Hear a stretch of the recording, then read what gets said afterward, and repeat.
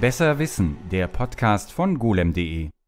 Hallo und herzlich willkommen zu einer weiteren Ausgabe. Mein Name ist Martin Wolf und ich bin Podcastbeauftragter von golem.de und ich befinde mich heute in Garitz in der Nähe von Hundeluft. Also da bin ich jedenfalls durchgefahren. Außerhalb eines Kulturhauses, vor uns die Landstraße. Man hört die letzten Motorradfahrer vorbeiknattern dieses Sommers. Es ist ein wunderschöner Spätsommertag, September. Das Jahr ist 2024 und mit mir hier draußen vor dem Kulturhaus, was inzwischen eine Gaststätte und ein Hotel ist, in dem sich, da kommen wir noch zu, was hier drin stattfindet, befindet sich René Meyer. Und wir reden über sein Buch, aber ich sage jetzt mal, wir sitzen hier so schön draußen und wir haben beide vor uns eine Kapitalistenbrause, du eine Coca-Cola, ich eine Pepsi-Cola, obwohl ich sonst nie in meinem Leben Cola trinke, aber ich dachte mir, ich passe mich dir an. Das ist äh, beim heutigen Thema, also es wäre jetzt äh, vor der Wende nicht so drin gewesen. Ne? Also wir hätten hier schön sitzen können, wir hätten uns treffen können vor der Wende. Ich wäre sehr klein gewesen. Wie alt warst du, 89? Jahrgang 70. Du warst also sieben Jahre älter. Du, wirst, du hättest mich nicht mit dem Hintern angeguckt, weil ich ein kleiner Pfiffi gewesen wäre. Ich wäre wahrscheinlich als Pionier vielleicht mal vorbeigekommen oder wenn Garetz ein FDGB-Heim gehabt hätte, wäre ich hier gewesen. Aber wir hätten keine Cola getrunken. Vita-Cola hätten wir getrunken. Wir hätten vielleicht Vita-Cola getrunken und vielleicht hätte es, wenn es ein FDGB-Heim gegeben hätte, auch einen Polyplay-Automaten geben können. Und damit sind wir beim heutigen Thema. Du hast ein Buch geschrieben. Nicht nur eines, glaube ich. Du hast mehrere Bücher in deinem Leben schon geschrieben, war? Hm, natürlich. Ja. Okay. Äh, du hast ein Buch neulich geschrieben und das ist äh, gerade veröffentlicht worden im äh, Verlag Das Neue Berlin. Ich dachte Eulenspiegel Verlag, aber ich sehe, es heißt Das Neue Berlin. Es ist ein Label. Also ah. Eulenspiegel ist richtig, Eulenspiegel Verlagsgruppe und das Label ist aber Das Neue Berlin. Und es heißt von Robotron bis Polyplay. Und wie der Name schon leicht vermuten lässt, geht es um DDR-Computer. Fangen wir erstmal damit an. René, du bist jemand, der sich sehr mit der Geschichte von EDV, also alten Computern und so weiter beschäftigt. Aber was machst du? Ist das auch dein hauptberufliches Ding? Und wenn ja, wie bist du dazu gekommen? Als die Wende kam, hatte ich gerade mein Abitur gemacht. Äh, in der 10. Klasse 86 bekam ich das Angebot, mit der Schulklasse an einem Basic-Kurs der Uni Leipzig teilzunehmen. Und da hatte mich das Computerfieber gepackt. Ich hatte zu der Zeiten keinen eigenen Computer, konnte aber in die verschiedenen Computerkabinette der Uni gehen und dann auch der Technischen Hochschule Leipzig, um an diesen kleinen Computern zu spielen und zu programmieren und programmieren zu lernen und mich mit anderen auszutauschen und auch die Listings auszudrucken. Ähm, die waren im Prinzip offen. Man konnte sowieso in das Gebäude gehen und konnte auch in das Computerkabinett, anders als heute ist, wo die abgeriegelt sind, konnte man einfach rein. Niemand hat gefragt, was ein Schüler da macht. Ich bin also nach der Schule regelmäßig in diese Kabinette gefahren. Und ja, als dann die Wende kam, habe ich ähm, nach Zivildienst und einem praktischen Jahr Informatik begonnen, fing gleichzeitig an zu schreiben. Ähm, Computerartikel. Das war gerade für Tageszeitung Anfang der 90er Jahre ein dankbares Thema. Hm, Anfang der 90er Jahre, da kam Windows 3.0 raus. Immer mehr Leute kaufen sich ein PC. In den 90er Jahren wurde dann auch ähm, online gehen. Modern. Ähm, das war also eine fruchtbare Zeit und ich konnte für viele Tageszeitungen schreiben, aber auch für Fachmagazine. Habe es dann auch mit Büchern probiert und eins der ersten Bücher wurde ganz überraschend ein Bestseller, worauf, woraus eine ganze Serie entstanden ist mit rund 30 Büchern Mogelpower. Cheats. Cheats und äh, Komplettlösungen. Und das ist etwas, was mich heute immer noch beschäftigt. Die Mogul Power Buchserie, die gibt es schon lange nicht mehr, aber die Website gibt es immer noch und ähm, ich äh, pflege die immer noch, dann und wann. Ähm, und die Website, die bringt Werbeeinnahmen und das sind eines der drei Teile, mit denen ich versuche, über die Runden zu kommen. Das zweite ist, dass ich heute immer noch Artikel schreibe, vor allem über die Geschichte des Computers, des Computerspiels und auch Filme, Filmjubiläen beispielsweise 30 Jahre Jurassic Park, 40 Jahre Tron, Blade Runner, so etwas. Ähm, und das dritte ist, dass aus dem Arbeitsarchiv von Muggel Power und eines Journalisten eine große Sammlung entstanden ist, die ich ausstelle. Es fing an, ich komme aus Leipzig, wir hatten damals die Games Convention, die Spielemesse, da fing es an, dass ich zum ersten Mal meine Sammlung ausstellen konnte. Und das war schon ein großes Ding, wenn man so seine alten Spielkonsolen und Heimcomputer auf einer großen Messe ausstellen kann mit mehreren hunderttausend Besuchern und niemand schimpft. Als Journalist wird man ja, bekommt man dann nie Lob, sondern immer nur Kritik, wenn man es falsch gemacht hat, aber das ist etwas sozusagen etwas kritikfreies und alle freuen sich und alle kennen das auch. Ne? Bis zu heute ähm, motiviert mich das immer wieder, äh, wenn ich irgendwo ein Super Nintendo aufbaue oder eine Playstation mit Tekken 3, das, das kennt jeder, das mag jeder spielen. Und das sind so diese drei Dinge, also Mogelpower, Artikel und Bücher schreiben und äh, so Veranstaltungen, Retro-Ecken auf Veranstaltungen. Du sagst, da, da bist du in so ein bisschen so einer kritikfreien oder weniger kritischen Zone. Ich kenne ich kenn das auch so ein bisschen denke mir auch mal, ja klar, hast du halt bei dem Retro-Kram, was willst du da jetzt groß? Das ist jetzt nicht so ein Aufregerthema ne, für die meisten Leute. Aber es gibt dann schon auch noch die Leute, die immer alles besser wissen. Die müssen dir doch auch über den Weg laufen, oder? Ja, klar. Erstmal gibt es äh, immer noch diese Grabenkämpfe. Heute immer noch Atari gegen Commodore, Oh ja. witzigerweise. Da gibt es zum Beispiel, wenn ich jetzt eine Fotogalerie mache mit dann gibt es tatsächlich Leute, die zählen dann ab, wie viele C64 es sind und wie viele Ataris. Äh. Aber ähm, als Journalist habe ich bei weitem nicht so viel Ahnung wie und als Ossi bei weitem nicht so viel Ahnung wie jemand, der die C64-Zeit tatsächlich miterlebt hat oder die Atari-Zeit. Ich schreibe ja oft über Dinge, in die ich mich erst einarbeiten muss. Und da kann es sein, zum einen, dass ich fachlich Fehler mache oder auch, dass ich eine, eine Meinung habe, die anders ist als die von anderen. Das gibt es auch manchmal. Ne? Ich denke, ja, ich, ich verstehe auch da, was du meinst, aber ich denke dann auch oft, ganz oft sind das zutiefst subjektive Einblicke, die man auch damals hatte. Im Gegensatz zu heute, wo du sagen kannst, zum Beispiel, ich muss nur, ich muss nur kurz ein bisschen das Internet abgrasen, um, um mehrere Meinungsströmungen zu einem bestimmten Thema herauszufinden. Und das sind auch die Meinungsströmungen, die in der Gesellschaft vorherrschen. Damals war das nicht so.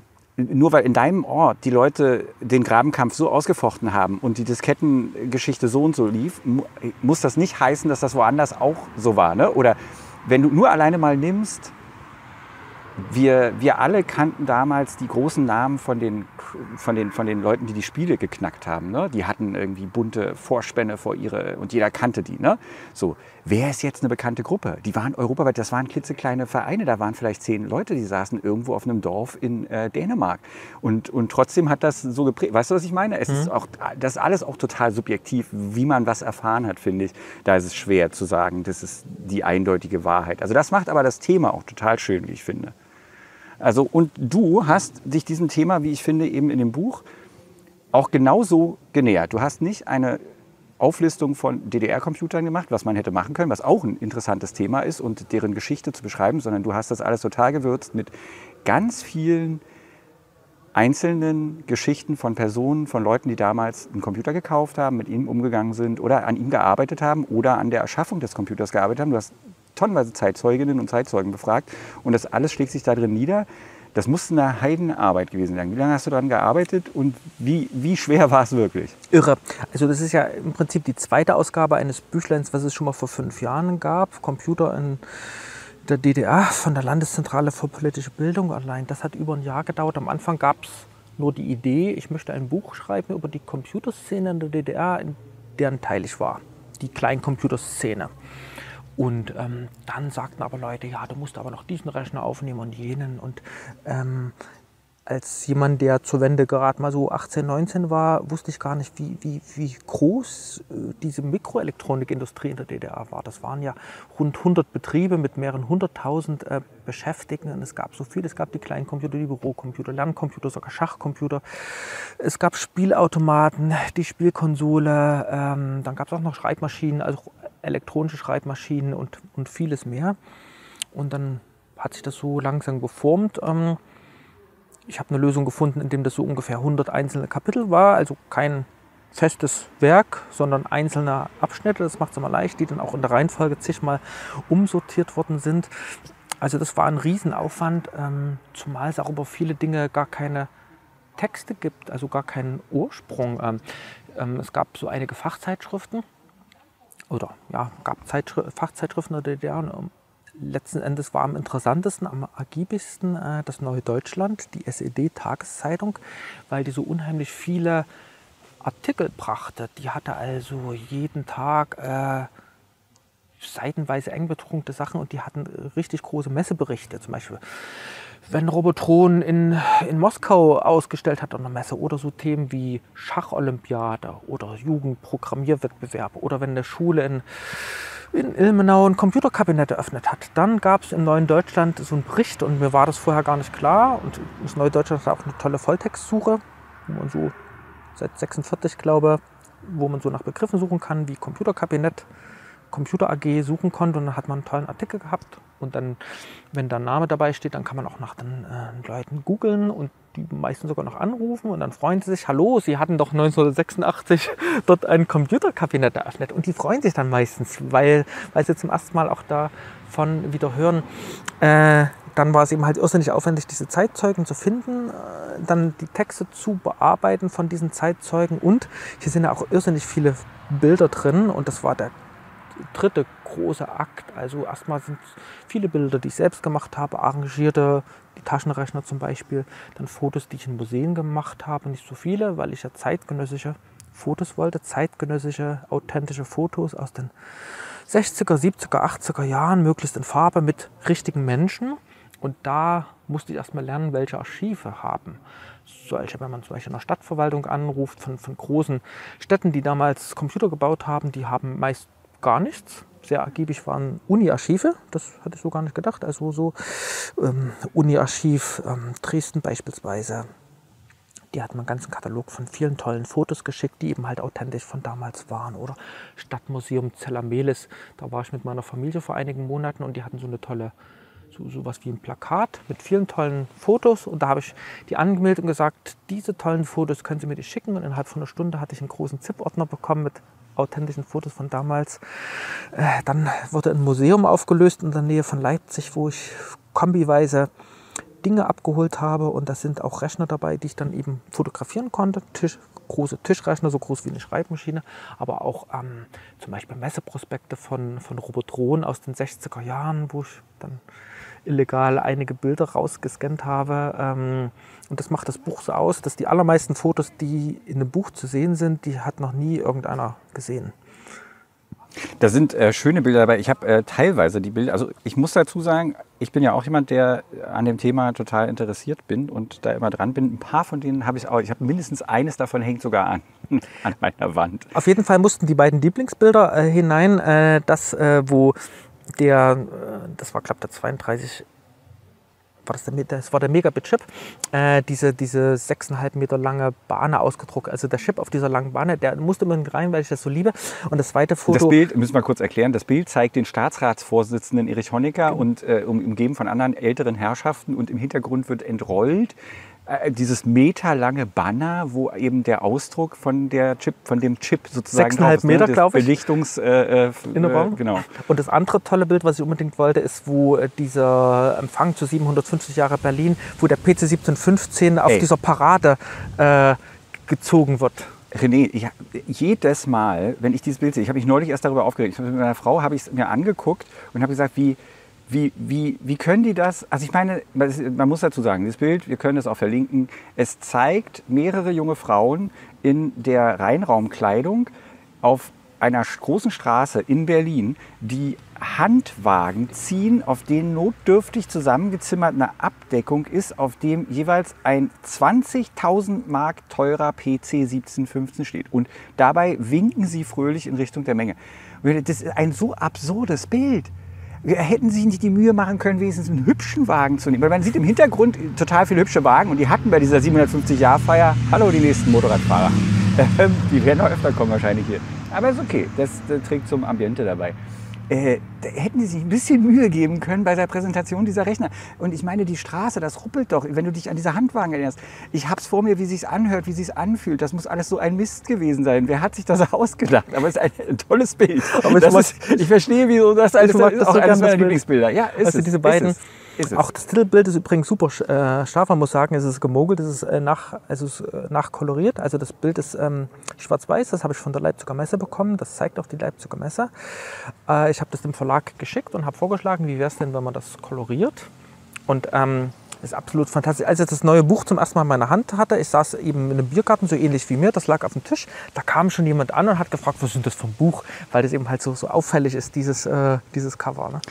So, wir arbeiten uns ein bisschen durch. Wir werden im Rahmen dieses Podcasts natürlich diesem Buch äh, werden nicht alles machen, aber das ist ja auch in Ordnung. Man soll ja auch noch selber drinnen lesen können. Ähm, aber wir, ich, ich habe mir überall so ein bisschen Notizen gemacht. Mal sehen, wie viel wir davon schaffen. Und wir fangen mal ganz vorne an. Ganz am Anfang schreibst du eine Sache, über die ich in diesem Podcast auch schon berichtet habe. Und da hatte ich mich unterhalten mit einem Parteisekretär aus, ich meine Dresden, der an der Halbleiterfertigung äh, beteiligt war, wo es darum ging, dass die Halbleiterindustrie ein für die kleine DDR so absurd teures und großes Unterfangen war, dass sie mit ziemlicher Sicherheit dazu beigetragen hat, dass der Staat am Ende auch pleite gegangen ist. Also ein Haufen andere Dinge haben auch dazu beigetragen, aber du schreibst das ja auch, du hast, also du formulierst das sehr nett. Du sagst, geschaffen von Menschen mit pfiffigen Ideen in einem Land, das sich auf allen denkbaren Kanälen dem, dem Chip-Zeitalter zuwendet. Und vielleicht trägt die enorme Kraftanstrengung, eine Computerindustrie aufzubauen, die alles besser machen soll, zum Ende des Staates bei. Und wenn man sich anguckt, also ich meine, na klar kann man immer dicke Bücher zu allen möglichen Themen veröffentlichen, aber du hast ja in dem Buch noch nicht mal wirklich alle Hintergründe drin, die man haben könnte. Du, hast, du zählst zwar viele von den Aspekten auf, aber wenn man sich überlegt, dass die DDR nicht nur große Rechner für Industrie, für, für Fertigung, äh, äh, für computergestützte ähm, Manufaktur, CAD-CAM, wie das damals hieß, äh, hatte, sondern eben auch Kleincomputer für, ich will jetzt nicht sagen für den alltäglichen Gebrauch, aber zumindest haben sie es in die Richtung probiert. Ähm, dann alles dazwischen bis hin zum Bildungscomputer, zum kleinen ähm, Bastelcomputer. Und das alles in diesem winzigen Land, das ist, wenn man von oben drauf guckt, schon wirklich eine riesige Menge, finde ich. Es ist äh, so, so, schwer zu greifen, denn einerseits sagt man ja immer, die DDR, die hing Jahre hinterher und das war auch so.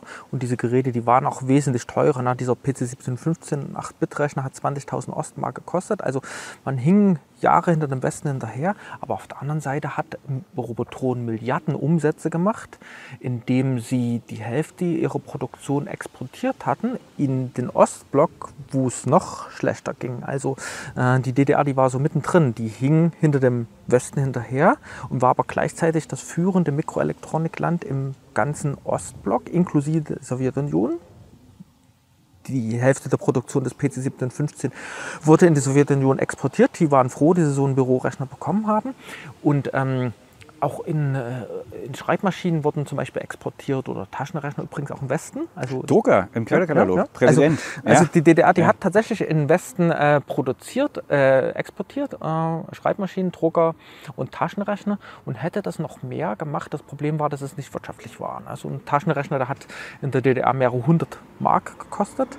Also es, es, es hat rechnerisch keinen Sinn gemacht, so volkswirtschaftlich äh, mehr in den Westen zu exportieren, weil man dadurch einerseits die teure Westmark bekommen hat, die wertvolle, aber andererseits hat zu einem hohen Preis ja. bezahlt. Du hast hier gleich am Anfang äh, ein Zitat drin von Werner Jarowinski, Vorsitzender des Ausschusses für Handel und Versorgung aus dem November 89, wo Sachen dann auch mal langsam so ein bisschen offener angesprochen wurden, das genau in diesen Kanon passt. Also das, ich finde das, das kannte ich auch nicht, das Zitat, und ich finde das bemerkenswert, deswegen lese ich das jetzt auch nochmal vor hier.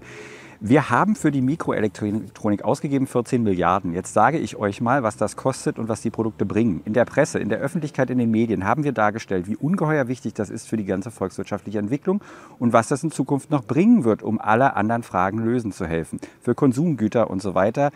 Der Speicherschaltkreis 64 Kilobit, unsere Hauptproduktion gegenwärtig 8,9 Millionen Stück Produktion, der Betriebspreis 40 Mark, der Weltmarktpreis 1 Mark.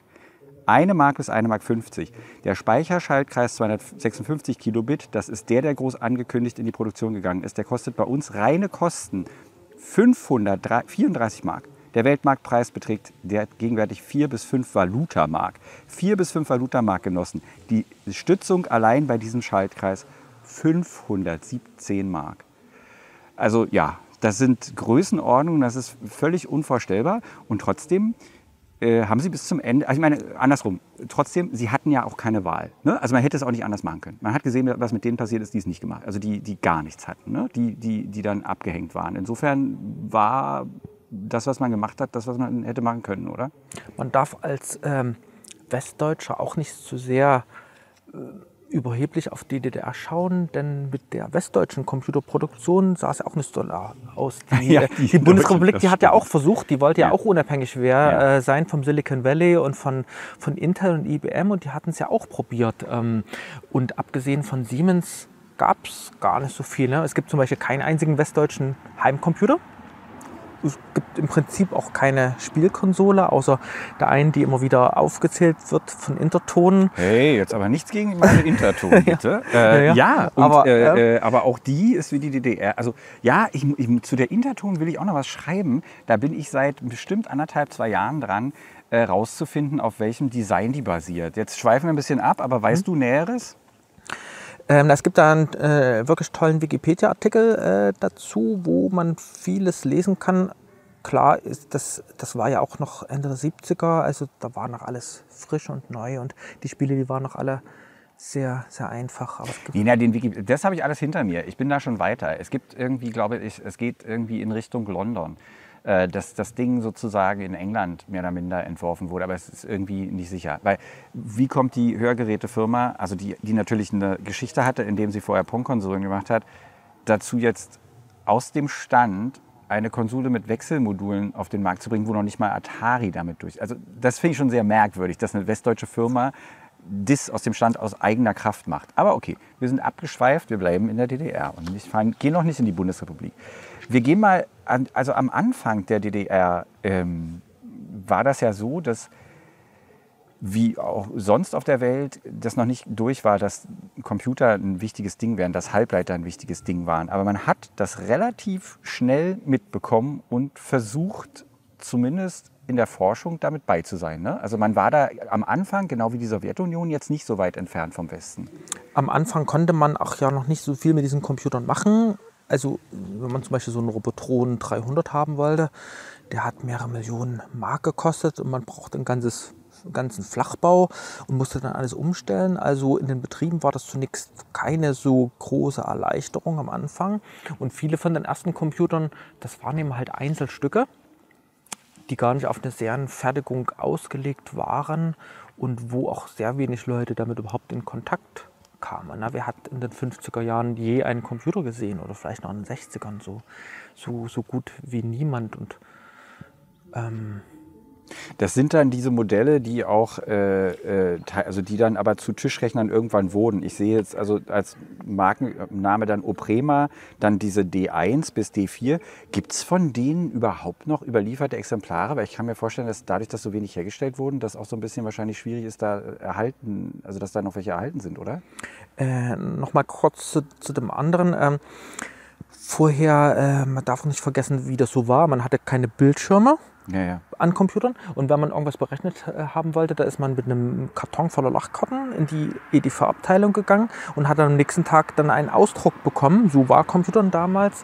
Äh, viele von den ersten Computern, äh, das ist nicht nur in der DDR so, sondern in, in anderen Ländern auch, waren Einzelstücke, die so groß waren wie, wie ein Gebäude oder wie ein Raum und die die gibt es nicht mehr. Ich, von der ZR1, ähm, Zeiss Rechenautomat 1, ähm, ist ein Foto im Buch. Ähm, das ist das einzige Exemplar, was es noch gibt in der Technischen Sammlung Dresden. Ähm, da steht auch Robotron 300. Davon gibt es auch vielleicht noch ein, zwei oder drei, weil das ist ja ein richtiges Ensemble, was, was 50 Quadratmeter umfasst. Und ähm, was zum Beispiel auch ähm, damit einfließt, ist diese irrsinnig schnelle Entwicklung innerhalb von 20 Jahren. Wenn man so überlegt, in den 50ern waren das riesengroße Großrechner und 20 Jahre später waren dann schon die 70er, Mitte der 70er Jahre IMSI-Computer. Die waren so groß dann wie ein, ja, wie ein Desktop-Computer eigentlich. Also innerhalb von 20 äh, Jahren sind die Computer ja, von einem großen Raum auf einen kleinen Desktop, hm, Desktop größer geschrumpft. Das heißt, äh, ja, man hat, es gibt diese also man hat auch nicht daran gedacht, die, die aufzuheben. Damit brauchte den Platz. Übrigens auch bei Filmquisiten ist es ja ganz so ähnlich. Ne? Von den größten Filmen, die man sich vorstellen kann, gibt es die Filmrequisiten, also die, die Requisiten auch, aber die ganzen Filmbühnen kaum noch, ne? weil also die ganzen Kulissen und so, viele von den Teilen ähm, Klar, das waren ja auch Wertstoffe. Ne? Also ich meine, man, man, schmeißt das ja auch nicht. Also man lässt das da nicht stehen, wenn man da das Kupfer oder irgendwas rausholen kann, dann macht man das natürlich auch. Ja. Selbst Filme, also frühe Stummfilme, davon sind irgendwie 80, 90 Prozent verloren gegangen, weil man gar nicht daran gedacht hat, die aufzuheben. Ne? Die wurden ein, zweimal gezeigt und ähm, ja, dann hat man sie nicht aufgehoben. Der Ursprung von Robotron, also Robotron, wenn man im Ausland, ich habe zum Beispiel ein Robotron-T-Shirt, wenn ich immer im Ausland natürlich rumlaufe, dann denken die Leute an das Spiel Robotron, hm. was tatsächlich äh, auch nicht äh, aus, von der Hand zu weisen ist, aber der Name ist tatsächlich sehr alt. Das wusste ich auch nicht. Das äh, hast du hier drin auch nochmal aufgedröselt. Schon in den 50ern ist er angemeldet worden. Und Alternativen wären gewesen Kalkutron und Memotron. Ich finde es toll. Ich möchte auch ein Memotron und auch ein Kalkutron-T-Shirt haben. Die, das Robotron-Logo sah am Anfang völlig anders aus und auch sehr merkwürdig. Äh, sind äh, auf jeden Fall Zeichen des Sputniks und des Wimpels zu erkennen. So. Und später sieht es aber wirklich, ich finde, das sieht auch schön aus. Das hat so einen modernen, dieses, alles kleingeschrieben und so weiter und so fort. Und dann gibt es, wie du schon gesagt hast, sehr viele Kombinate. Also es ist ja nicht wie im Westen, dass es dann einzelne Firmen gibt, sondern es gibt äh, die Kombinate und da arbeiten tatsächlich, du hast da auch so eine schöne Auflistung hier drin, die ich jetzt hier auf Anhieb nicht finde, obwohl ich mir natürlich tausend so eine kleinen... Relativ Zeig- weit vorn. Die ist relativ weit vorne, genau. Aber ist auch egal, die genauen Zahlen. Doch, da sind sie. Äh, alleine das äh, VEB Mikroelektronik Erfurt, wo der von uns erwähnte Kleincomputer. Unter anderem der Kleincomputer, ich dachte, da wäre der 1715 auch gefertigt worden. der kommt aus der ist Sömmerda. Sömmerda, Das genau. ist Robotron. Das ist Robotron und in, äh, alleine dieser, dieses Robotron-Werk hat fast 70.000 Leute beschäftigt in Sömmerda, was ein Klecks auf der Landkarte ist. Ne? Also, und das Gleiche gilt, also gut, Erfurt und so, aber da sind 60.000, hier sind 60.000, Karl Zeiss Jena hat äh, 60.000, ähm, Berlin-Treptow hat 30.000, bei uns um die Ecke war Teltow, da steht jetzt hier keine Zahl, aber ich weiß, dass da auch ewig viele Leute gearbeitet haben. Ich habe ja frech ins Vorwort geschrieben und sehr provokativ, ähm, dass Robotron größer war, Ende der 80er Jahre größer war als Apple, Atari und Commodore zusammen. Und das ist nicht gesponnen, das war tatsächlich so, sowohl was die Mitarbeiter betrifft, wie aber auch den Umsatz. Die hatten also Milliarden Umsatz gemacht. Klar, man kann das wirklich schwer ausrechnen, DDR-Mark gegen Westmark, aber ähm, ja, also das und die hatten äh, wahrscheinlich sogar mehr Gewinn gemacht als Commodore und Atari. gut die in, Alu, also- in Aluminium. ja, ja, ja, ja. Also, ähm, also da steckt eben halt auch schon eine, eine produktive Leistung dahinter, ne, dass da Dinge auch entstanden sind. Und dann geht es schon gleich los. Also klar, das gibt die äh, großen Rechner, aber man will, man will, man hat auch einen Bildungsanspruch in der DDR und versucht natürlich auch die Jugend ranzuführen. Und es gibt tatsächlich Computerspielzeuge, also Dinge, bei denen man selber irgendwas verdrahten kann, die ich auch nicht kannte. Picodat ist so eins. Was konnte man damit machen? Das war ja, im Prinzip auch ein Klon von einem, von einem westlichen äh, Gerät. Ähm, und da konnte man so einfache Schaltungen zusammensetzen, zusammenstecken und und oder und so kleine Spiele machen hier. Oder so eine Eisenbahnsteuerung, ist auch ein, ein Bild Die, dass man damals. die, die, die, die äh, seine kleine äh, Modelleisenbahn steuern kann ne? und So die was so- Weichensteuerung und so. So, so kleine Aufgaben auch kleine Spiele konnte man zusammenstecken, so Draht, Drahtverbindungen noch ohne, ohne Mikrochip generell. Ähm, damit wollte ich mich noch in einem Buch beschäftigen. Ähm, generell war Spielzeug in der DDR ein, sehr wichtiger Produktzweig und die haben auch sehr viel Spielzeug nicht nur produziert, sondern auch exportiert. Deswegen äh, finde ich eines der Gründe, warum die DDR Computerspiele von Anfang an so mochte, weil generell die DDR ein Spielzeugland war. Und Spielzeug Wir waren hatten so viel Spielzeug, wir hatten so viel Kram. ja, was- was wichtiger, angeht. wichtiger Exportzweig. Ne? Diese ganzen, also es wurde sehr viel in andere Länder exportiert, auch im Westen Spielzeug so. Es sah auch alles unterschiedlich aus. Also, weil, weil wirklich in der DDR gab es ja ganz viele Sachen, ähm, wenn ich so zurückdenke, die wirklich sehr uniform aussahen. Also wenn du dir überlegst, die Schrankwände, also mal abgesehen davon, dass Karten ein bisschen heller und was ein bisschen dunkler war, aber grundsätzlich sahen die so ziemlich alle gleich aus. Ne? Aber wenn du dich an das Kinderspielzeug erinnerst, das war wirklich äh, extrem divers. Also das war, äh, äh, ob es nur Plastik war, ob es Holz war oder irgendwas, aber es war immer irgendwie anders. Hatte keinen durchgehenden Stil oder war irgendwie gleichförmig. Fand ich schon, jetzt wo du es Es sagst. gibt einen tollen Bildband, der heißt genauso DDR-Spielzeug. Ja. Den, das, also das sind irrsinnig viel, für mich werden da auch Erinnerungen wach, was es da so Ja. alles gab. Was war, was war dein Lieblingsspielzeug? Kannst du dich erinnern? Ähm, ich habe sehr viel mit Indianern gespielt, äh, ne, dieses Indianer-Vor und Cowboys und so. Dann mit diesem DDR-Lego sehr viel gebaut. Oh Gott, das fand ich so frustrierend. Das hat nie richtig gepasst. Ich meine, das, ich meine da gab es eine Version, wo du dir äh, Ostneubauten selber zusammenstecken konntest. Das war total frustrierend. Fand ich ganz furchtbar. Also, Diese, diese, ja, es gab also ganz verschiedene. Und dann habe ich auch diese, ähm, diese Metallbaukästen sehr gemocht, Ja. in denen man so Dinge zusammengeschraubt und gebaut hat. Ja. Und ich meine, ich hatte ein. Ähm, nicht alles von dem DDR-Spielzeug war jetzt irgendwie so, wie soll man sagen, friedensfördernd oder, oder in irgendeiner Weise so mm, bildungskonform. Also ich meine, dass ich eine AK-47 hatte mit Zündplätzchen zum Schießen. Ich hatte ein Plastikschwert. Ich hatte einen ferngesteuerten Panzer. Es hört sich jetzt voll an, als ob ich irgendwie in einem sehr militaristischen Haushalt aufgewachsen wäre, aber bin ich gar nicht, fällt mir nur gerade ein. Und ich hatte einen ferngesteuerten Mercedes Puch. Ich habe keine Ahnung, wo der herkam. aus dem Westen. ich bin mir ich glaube nämlich nicht. Ich glaube nicht, dass wir, also wir hatten keine, äh, wenn es danach geht, ne, mit, das, äh, oft hast du ja von der Westverwandtschaft irgendwas, sowas hatten wir gar nicht. Also ich kann mir das nicht vorstellen, weiß ich nicht. Egal. Ähm, gehen wir weiter dazu, was wir auch noch alle nicht hatten. Nämlich, wir haben jetzt schon erwähnt, es gibt, also klar, man kann in einen Spielzeugladen gehen und dieses Pico-Ding kaufen oder auch sonst. Was man aber nicht machen kann als normaler DDR-Bürger, ist in irgendeinen Laden gehen und sich einfach mal eben so einen Computer kaufen. Das war nicht drin. Ne? Also obwohl es ja Kleincomputer, 8-Bit-Computer und außerhalb der professionellen Anwendungszwecke ab spätestens den 80er Jahren solche Rechner gab, konntest du die nicht einfach kaufen. Ne? Genau, eigentlich so fast der einzige, den man kaufen konnte, der Z1013, der für, dafür gedacht war. Da musste man ein Jahr warten und musste dann nach Erfurt in ein Geschäft fahren, um den persönlich abzuholen. Und dieser Computer bestand aus einer Leiterplatte und einer Tastatur, die man noch anlöten musste. Und dann brauchte man noch ein Netzteil und dann konnte man, hatte man keine Software, kein nichts. Und ähm, ja, und ähm, wenn man Westgeld hatte, konnte man C64 im Internet, äh, Intershop kaufen oder An- und Verkauf, ähm, Zeitungen lesen und. Da habe ich mir eine Notiz Zeitung. gemacht, genau. Es gab äh, äh, einen florierenden Markt in, in, in Zeitungen. Es gab zum Beispiel die Zeitung Funkamateur. Ich habe hier eine Ausgabe. Ich habe extra eine Späte genommen. 4,89. Also da waren die Messen schon fast gesungen. Ja. Vorne drauf ist ein, ja, was ist denn das? Ist das ein russischer Computer? Kannst du das identifizieren? Das ist kein DDR. Ich bin mir ziemlich sicher, dass es kein DDR-Computer ist. Das kenne ich gar nicht. Sieht ein bisschen aus wie Spektrum. Das sieht sehr nach einem Sinclair Spektrum aus, aber es wäre auch. Vielleicht ist es sogar. Ähm, Steht das drin? die waren ja vielleicht auch AC1-Story, weil hier der AC1, das, das war so ein Selbstbaucomputer. Ah ja, das, könnte okay. aber auch ein, äh, das könnte aber auch ein, ein, ein Klon sein, weil ähm, in Osteuropa waren die recht beliebt, ähm, so ZX81 und ZX Spektrum-Klone. Ich weiß es nicht, Und vielleicht hinten, jetzt irgendwo. hinten drinne gibt es dann die Anzeigensektion und ein Atari 520 ST, der 89 noch okay gewesen wäre, würde ich sagen. Floppy Maus und Handbücher, Preis 20.000 Mark bei Rutsch in Berlin.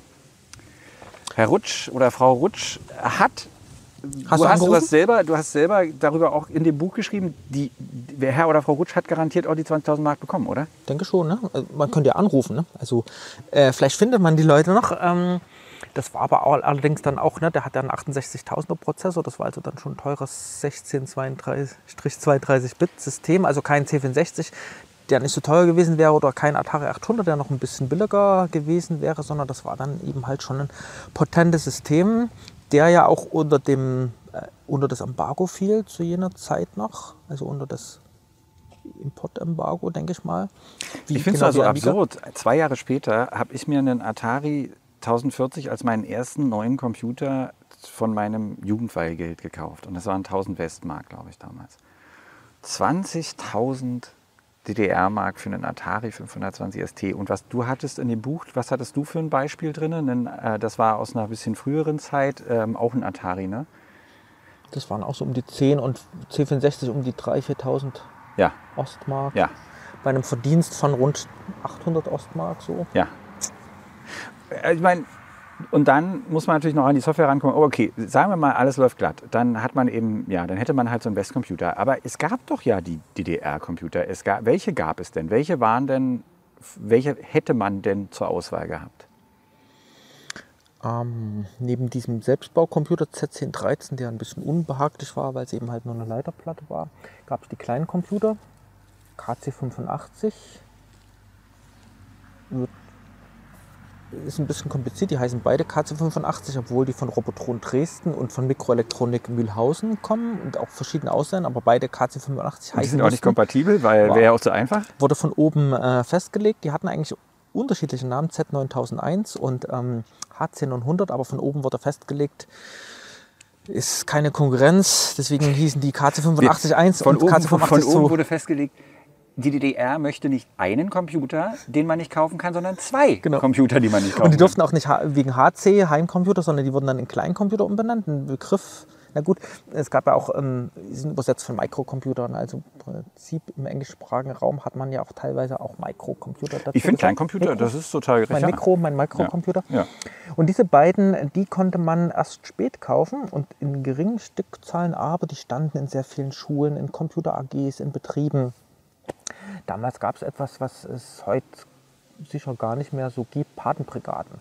Also dass ähm, eine Schulklasse eine Brigade hatte in einem Betrieb und die sich dann gegenseitig unterstützt hatten. Teilweise gab es auch zum Beispiel Berufsschulkabinette, wo Schüler hingehen konnten. Bei uns war es so, ähm, der Vater einer Mitschülerin, der hat das Rechenzentrum der Uni Leipzig geleitet und die hatten mehrere, Wow. die hatten mehrere Kleincomputerkabinette und in eins von denen konnten wir eben halt einmal pro Woche und dann habe ich so nach und nach festgestellt, dass es in der Uni Leipzig neben diesen großen Rechenzentren und Großcomputern, die ich nie in meinem Leben gesehen habe, eine ganze Reihe von diesen Kleincomputern, Kabinetten gegeben hat, bestimmt so ein halbes Dutzend. Auch die Volkshochschule Leipzig hatte eins und dann später unser Gymnasium, was in der DDR erweiterte Oberschule hieß. Es gab also durchaus in einer Stadt wie Leipzig die Möglichkeit, an vielen verschiedenen Orten an einen Rechner zu kommen, was in einer kleinen Stadt irgendwo im Land, beispielsweise hier, wo wir hier sitzen, da nicht so möglich war. Na, da konnte man wahrscheinlich tatsächlich mal eine Stunde pro Woche in der Informatik AG. Ich wollte gerade sagen, in der Schule, ja. Wir hatten ein, ähm, ein Computerkabinett in der Schule und wenn wir, ich weiß nicht mehr welches Fach das war, dann, dann sind wir dahin. Das war ein zugiger, äh, also zugige Baracke, muss man, kann man ja noch sagen. Und da standen dann KC, KCs, es gibt da verschiedene. Also hier verlinke ich natürlich in den Shownotes so ein bisschen diese ganze KC-Story, dass sich jeder mal angucken kann, welchen er davon oder sie davon am liebsten nicht haben möchte, weil die Dinger sind, also die sehen schon mitunter cool aus, aber mindestens der eine hat eine Tastatur, die ist so zum Wegrennen. Dagegen ist die, also die ist mindestens in einer Liga, zumindest da waren sie gleich auf mit dem Besten, ähm, wie diese Leichenfleisch-Tastatur vom Sinclair. Das sind praktisch kleine das äh, ist wie ein langgezogenes Tic-Tac. Und darauf soll man dann tick, das ist eine, eine, eine Taste. Ne? Die ganze Tastatur besteht daraus. Und auch die Tastatur vom KC 854. Ich habe so ein Ding mal besessen, weil ich es 1990 am Straßenrand gefunden habe und nicht umhin konnte, ähm, das dann zu adoptieren, weil ich dachte, okay, komm, das ist jetzt aber auch Mist, also kann sie nicht wegwerfen. Und äh, damit zu tippen ist auch der absolute Horror. Ging aber und wenn man nichts anderes hatte, war es auch okay. Und ich meine, das Ding konnte zumindest Farben anzeigen, was hauen konnte, es auch nicht. Aber äh, kam, also und jetzt müssen wir noch den Zeitrahmen setzen, ab 84 auf dem Markt, aber wie du schon gesagt hast, erst später gab es dann halt so eine weitere Verbreitung. Aber die DDR wollte, also jetzt klingt das also ein bisschen, als ob, okay, dann, dann hatten die alle nichts in der schweren Zeit, aber die wollten eigentlich schon, dass wir jungen Leute uns auch mit Computern beschäftigen. Ne? Irre, was es alles gab. Es gab Fernsehsendungen, Informationen, wo man tatsächlich auch programmieren lernen konnte oder so Themen wie, wie äh, Datenbanken. Es gab Radiosendungen, es gab jede Menge Bücher und Zeitschriften und eben halt diese Möglichkeit, dass wir Schüler in ganz verschiedenen ähm, Ebenen auf, ähm, äh, an diese Computer rankamen, eben in, in Schulkabinetten, Betriebskabinetten, Unikabinetten. Und als Leipziger hatten wir noch einen weiteren Vorteil, die Leipziger Messe wo diese Computer auch standen, übrigens auch Westcomputer, zweimal im Jahr die große Frühjahrs- und Herbstmesse und ähm, das ostdeutsche Gegenstück zu Jugend forscht, die Messe der Meister von morgen, wo ähm, ich zum Beispiel an einer Schulmesse teilgenommen hatte mit einem Programm, mit einer Software und habe da sogar einen Preis ge äh, gewonnen. Dann gab es noch die Kreismesse, die natürlich dann auch in Leipzig war und die große Zentrale, sozusagen die DDR-weite Messe, die war auch in Leipzig. Also gab es so mehrfach pro ähm, ja, die Möglichkeit, an so einen Computer zu kommen. Und wir hatten bei Leipzig und Böhlen auch die größte Convention, kann man sagen, äh, wo dann die ganzen Freaks sich getroffen hatten in einem, im Kulturpalast Böhlen. Über 1000 Leute kamen da. Das waren allerdings fast nur Westcomputer, die sie mitgebracht haben. Viel Atari. Atari war in der DDR wohl verbreiteter als C64, weil preiswerter. Also wenn man wollte, hatte man die Möglichkeit, in seinem Zirkel, das ist auch interessant, ähm, obwohl die DDR so klein war und so wenig Computer gab, gab es verschiedene Communities. Ich war in meiner kleinen Computer-Community Community, hatte so gut wie keinen Kontakt zu den Westcomputerleuten und wusste gar nicht, wie verbreitet sie sind. Oder Z1013, das war ein Gerät, was ich zu meinen DDR-Zeiten, glaube nie gesehen hatte, obwohl es der meistverkaufte an Privathaushalten verbreiteter DDR-Computer war. Damit meinst du 300 Stück? Keine Ahnung, wie viel das dann am Ende war. Ja, okay. Ähm, ja. Das Interessante ist, dass es da eben halt so Communities gab, die sich über Clubs. Es gab irrsinnig viele Clubs äh, in der DDR und so viele Möglichkeiten. Es war natürlich so, so generell in der 80er Jahren noch, noch schwieriger. Kaum jemand hatte ein Telefon. Und man hat sich also Postkarten geschrieben, hallo, ich komme am Wochenende vorbei. Dann ist man irgendwie nach Jena gefahren mit dem Zug, hatte eine ganze Nacht Kassetten getauscht und ist dann am nächsten Morgen dann wieder zurückgefahren und hatte dann neue Software. Aber das war ja am Westen nicht ganz so anders, obwohl es natürlich mit Disketten schneller ging und äh, man theoretisch das auch per DFÜ dann hätte machen können. Äh, so Modem oder vielleicht auch Mailboxen, das gab es in den 80er Jahren auch schon, ähm, dass man über Mailboxen an frische Software kommt.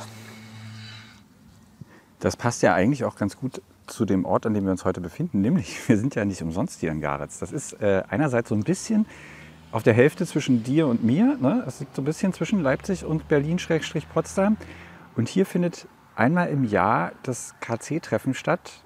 Das heißt, Leute, die Kleincomputer, wobei ich war jetzt gerade drin, das sind nicht nur Kleincomputer, da ist auch ähm, mein, also der von mir so favorisierte PC 1715 mit dabei und noch ein Haufen andere Rechner. Und man trifft sich hier traditionell in Garetz, in, ein, in diesem, in diesem äh, Landgasthof, wenn man reinguckt, ein Traum in Braun. Also ich habe allen, denen ich gesagt habe, okay, was mache ich jetzt hier am Wochenende? Ich fahre in die DDR, die haben mich alle mit großen Augen angeguckt. Aber wenn man sich die Rechner anguckt und diesen Raum, ist toll. Und auch hier wird natürlich getauscht und wird Wissen ausgetauscht vor allem, ne? die alten Rechner zu erhalten. Diese Community von Leuten, die damals, hast du gesagt, okay, du warst so eher in der DDR-Computer- Szene unterwegs.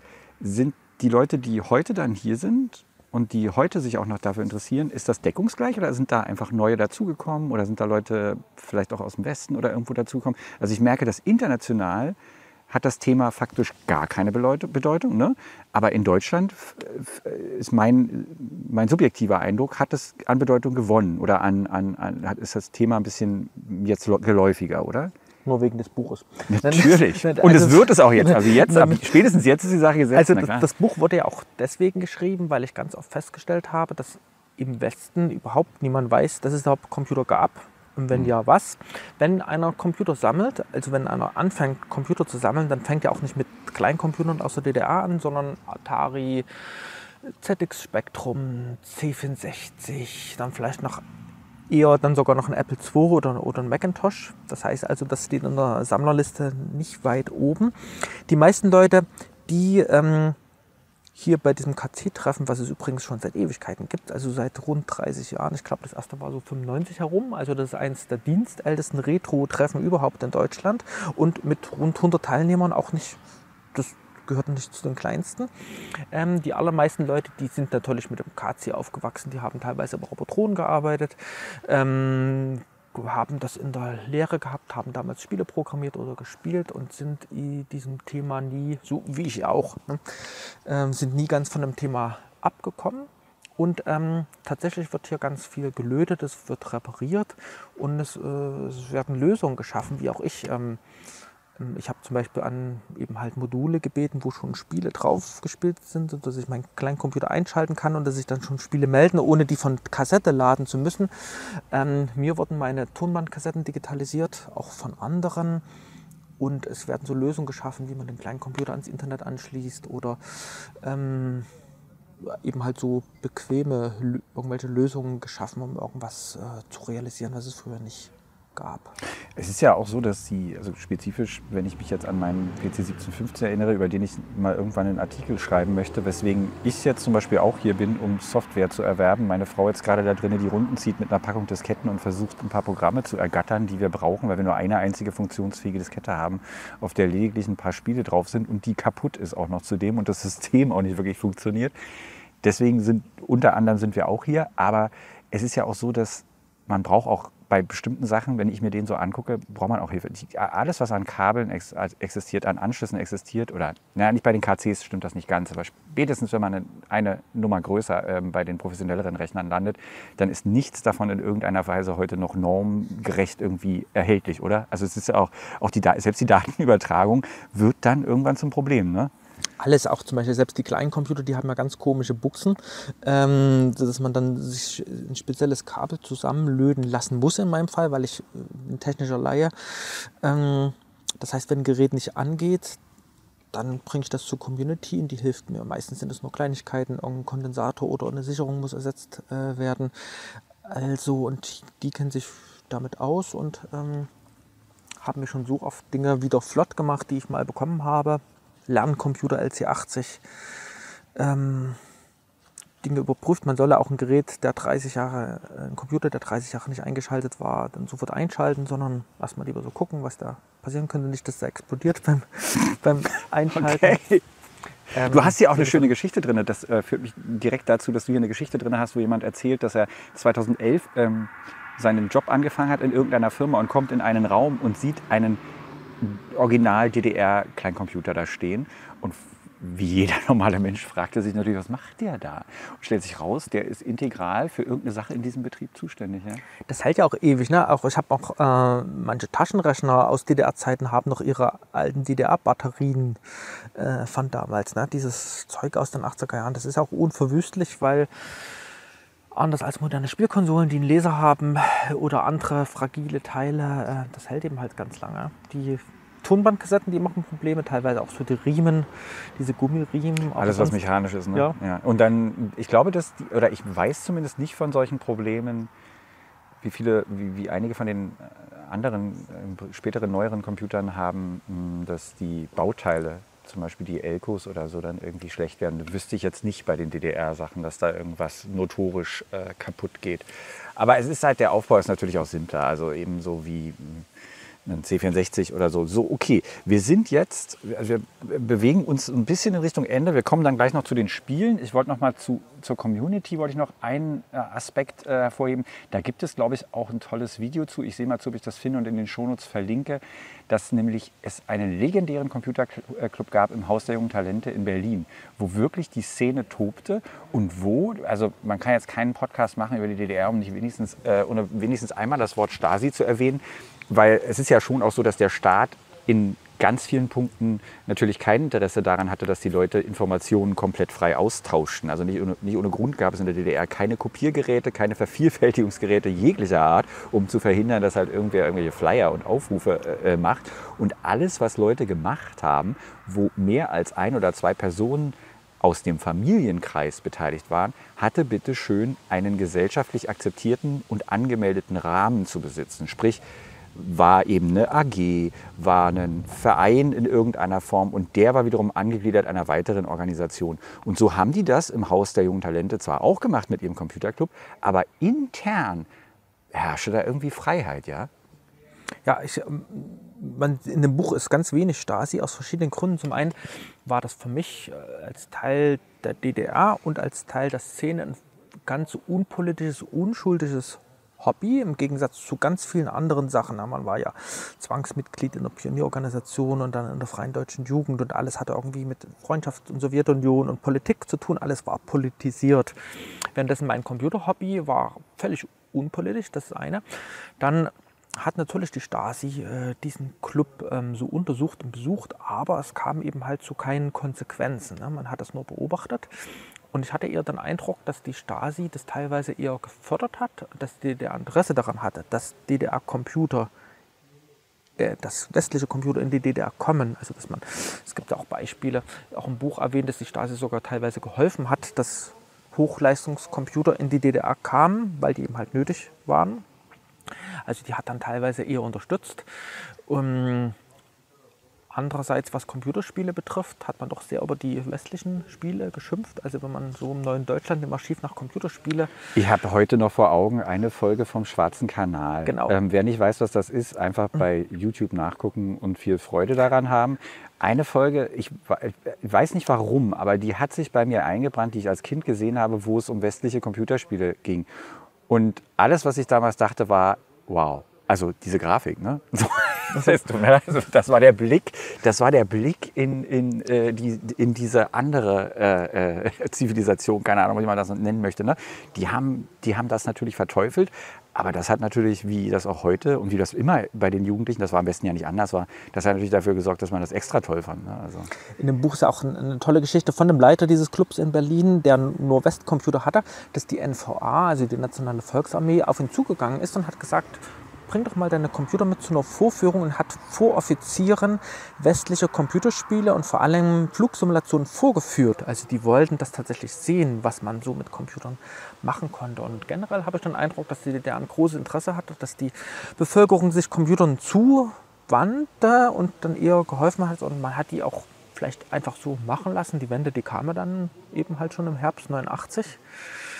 Ähm, das war also auch generell ein kurzes Zeitfenster. Kommen wir zu den Spielen zum Ende. Ich habe einen Artikel, verlinken wir natürlich auch in den Shownotes. Ich muss hier immer, ich muss hier immer mal Markierungen machen, sonst ich verspreche dann immer, dass wir das irgendwo verlinken. Und nach, ich, ich warte noch darauf, dass ich irgendwann mal was vergesse. Aber egal, ich versuche mich daran zu erinnern. Ich habe einen Artikel darüber geschrieben, weil ich selber eins besitze, ein Bildschirmspiel 01. Mhm. Das einzige Videospiel der DDR. Und dabei stammt zumindest das Innenleben und das, das eigentliche Programm natürlich nicht aus der DDR. Ne? Genau, aus dem Westchip, der Pong-Chip. Das ist äh, von einer Firma damals für alle von denen, also auch in der Bundesrepublik waren die äh, weit verbreitet, diese kleinen Konsolen, die nur ein einziges Spiel konnten, also Pong in verschiedenen hm. äh, Versionen. Und die DDR hat in den 80ern beschlossen oder Ende der 70er, das brauchen wir jetzt auch. Das ist auch schräg, oder? Also warum brauchten die, das ist doch total, ist doch ausgedacht. Also braucht doch keiner. Also ich stelle mir vor, wie, wie jemand in, bei, einem, bei einer Parteiaussitzung irgendwie dann da sitzt und sagt, jetzt dieses, äh, da läuft da irgendwie Pong auf dem Fernseher und die sagen, jetzt brauchen wir das. Wozu also hätte man das brauchen sollen? Es war wohl so, dass die ähm, auf der Hannover Messe, ähm, damals gab es die CeBIT noch nicht, ähm, die Konsole gesehen haben und haben dann sich gedacht, das brauchen wir auch. Und in den 80er Jahren äh, war das alles sehr viel entspannter. Ich habe so viele Hollywood-Filme im DDR-Kino gesehen, so Filme wie E.T. beispielsweise, Unheimliche Begegnung der dritten Art. Also, und, und auch Popmusik war dann auch erlaubt. Das Michael Jackson erschien auf, auf Schallplatte und viele andere. Also ähm, ich glaube, die DDR, die hat versucht, ähm, den Jugendlichen das Leben in der DDR schmackhaft zu machen, indem eben halt, ja, ähm, indem mhm. eben halt Konsumgüter mhm. wie Taschenre äh, Taschenrechner, äh, Kassettenrekorder, äh, Mopeds verfügbar waren. Ähm, und eben halt auch äh, das Thema Beats, Musik, was ja vielleicht zehn Jahre vorher noch streng verboten war.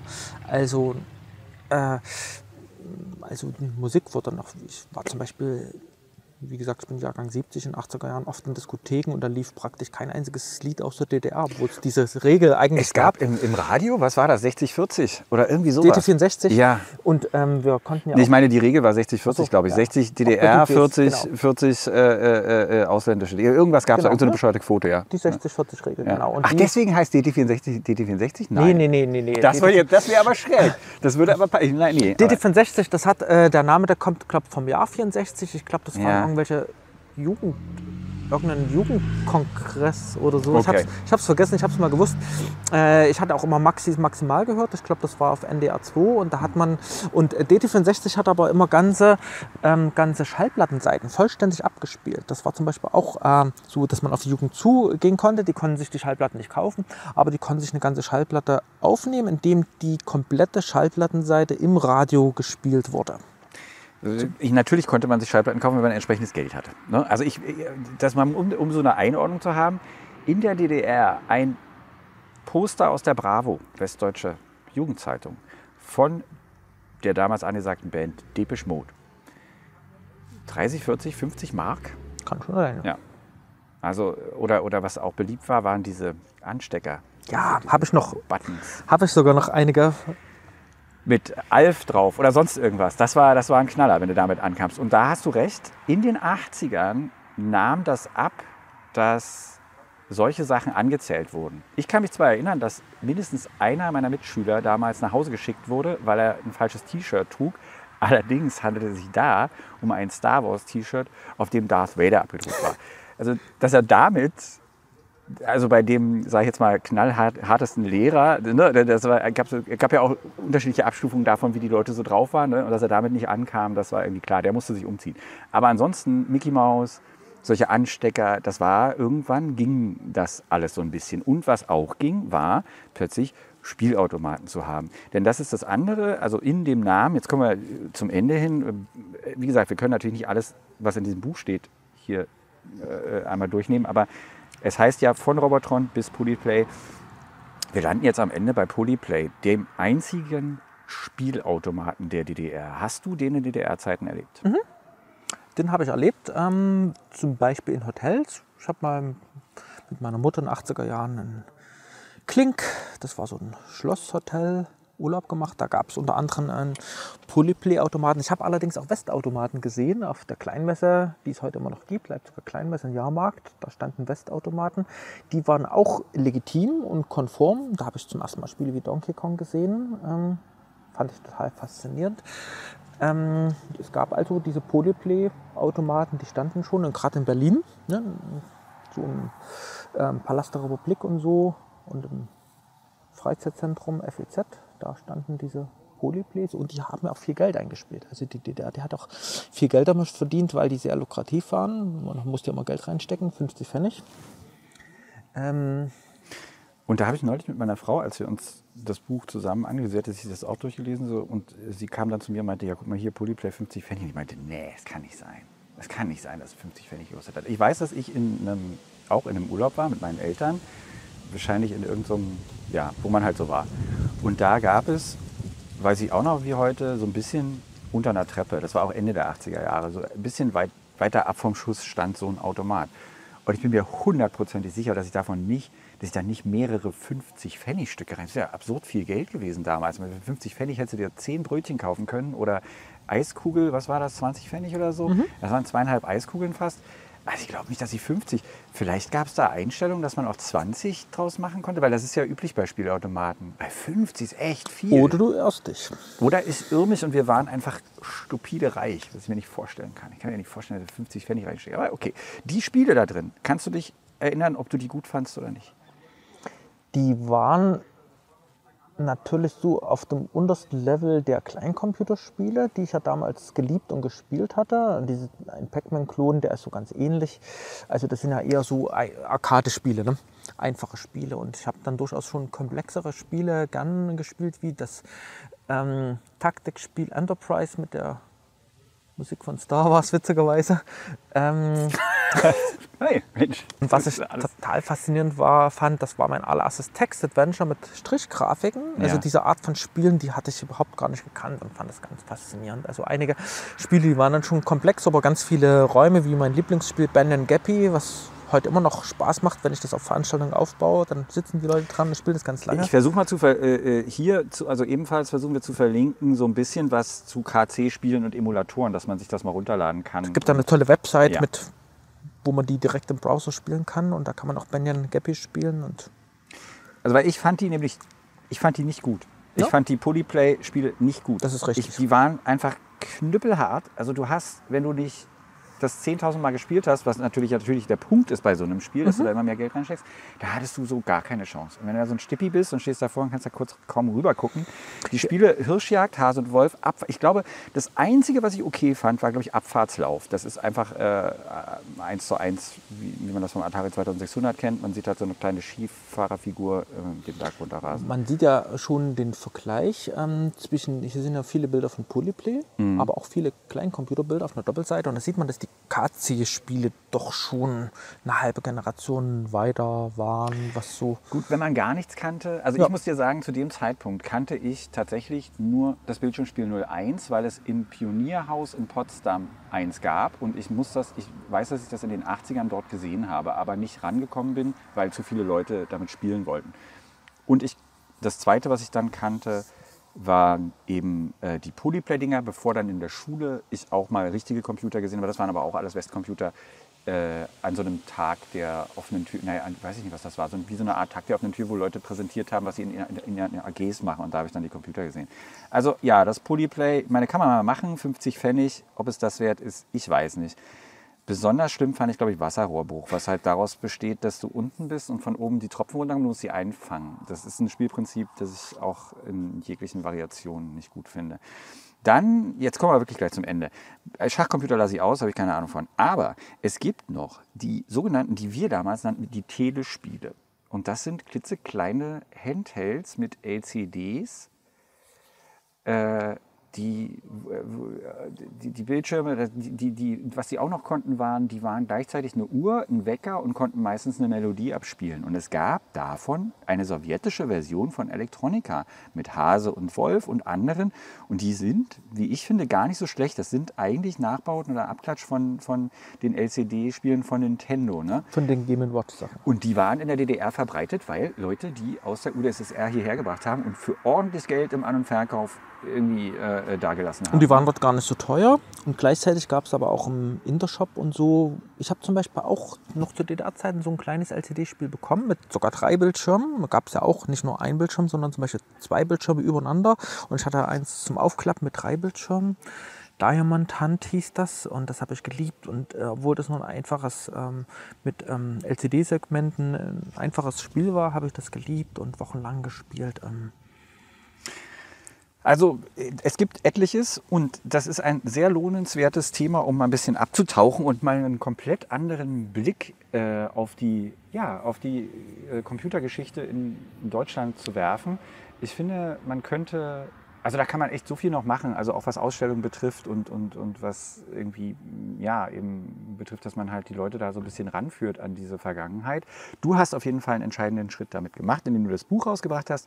Wir haben einen Schritt gemacht, indem wir diesen Podcast zusammen aufgezeichnet haben und ich mache einen weiteren Schritt, indem ich Software besorge für den PC 1715 und dann darüber einen Artikel schreibe, was das eigentlich für ein Computer war und was da drin steckt, weil der hat auch eine spannende Hintergrundgeschichte. Und ich werde mich natürlich schamlos in einem Buch bedienen, René Meyer, vielen, vielen Dank, dass du mir hier Rede und Antwort gestanden hast. Du hast jetzt gleich noch einen Vortrag hier drin über das Buch. Ich weise darauf hin, dass ähm, natürlich alles zum PC 1715 und Robotron auf golem.de nachlesbar ist. Wenn, wenn, sich da jemals was ereignet, irgendwelche Neuigkeiten gibt, dann wird man es auf golem.de lesen. Deine Artikel liest man tendenziell eher beim Mitbewerber Heise. Ne? Oder bist du in der CT, auf, in der Zeitschrift auch vertreten? Oder? Hin und wieder vor Jahren DDR-Special, aber schreibe viel für heise.de, ja. Genau, da kann man das lesen. Damit haben wir unsere Werbeblöcke hinter uns gebracht. Vielen Dank fürs Zuhören, Themenanregungen und Dankeschön und Bitteschön und alles andere an podcast.golem.de. Bis zum nächsten Mal. Ciao.